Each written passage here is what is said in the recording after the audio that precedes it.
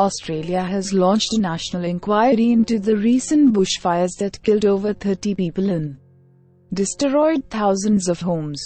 Australia PM Scott Morrison said a six-month royal commission will investigate the country's preparedness to natural disasters. It will also consider establishing new powers for the federal government to declare a state of emergency for faster response to fires. Subscribe to the channel for more news.